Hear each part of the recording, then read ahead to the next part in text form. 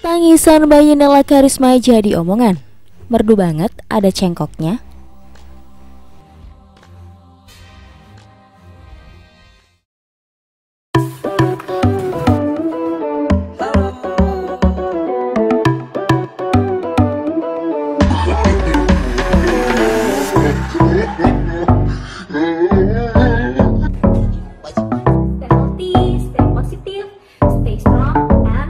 Positive,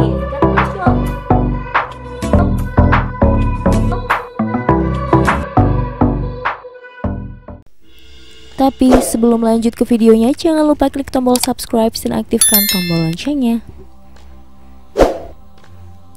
Dori Harsa belum lama ini mengenalkan nama bayinya dengan Nela Karisma. Bayi yang lahir pada 21 Agustus 2021 ini diberi nama Gendis Giwana Mada Harsa.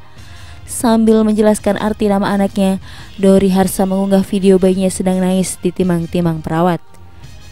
Bayi Nela Karisma ini pun menangis cukup kencang, namun perlahan menurunkan suara tangisannya setelah nyaman dipuk-puk perawat. Menariknya, banyak netizen dibuat salah fokus mendengar tangisan bayi Nela Karisma dan Dori Harsa itu. Mereka memuji kalau suara tangisan bayi Nela dan Dori sudah berdu bak penyanyi seperti orang tuanya.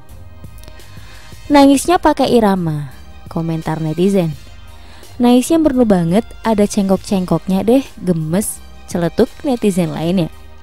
Anak penyanyi nangisnya beda, ada cengkoknya ya. Semoga endung gendis gelis gede, komentar netizen lain. Melalui akun Instagram pribadinya, Dori Harsa pun memperkenalkan nama putri pertama ini. Permisi Bapak Ibu Dori dan Ibu Nela, kakek nenek, om tante, kakak semuanya. Saya mau memperkenalkan nama saya Gendis Giwana Madaharsa.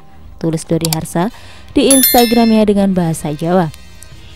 Dori Harsa bertutur seolah putri yang menceritakan sendiri nama dan artinya nama Gendis Giwana Madaharsa sendiri rupanya memiliki filosofi yang kental akan budaya Jawa.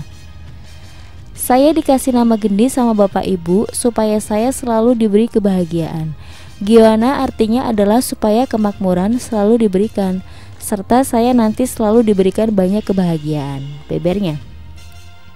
Lebih lanjut, Madaharsa berarti suci, oleh karena itu jika digabung secara kesatuan, putri pertama Nela Karisma dan Dori Harsa ini diharapkan menjadi anak yang bahagia, makmur, dan dijauhkan dari keburukan.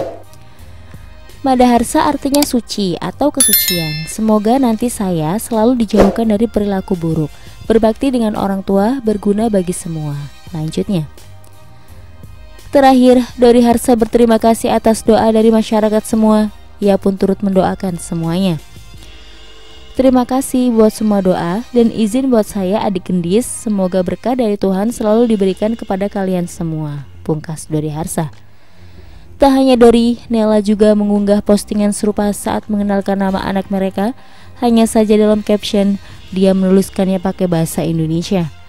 Diberitakan sebelumnya, Dori Harsa dan Nela Karisma menikah pada 15 Agustus 2020 lalu. Anak pertamanya pun lahir satu tahun kemudian.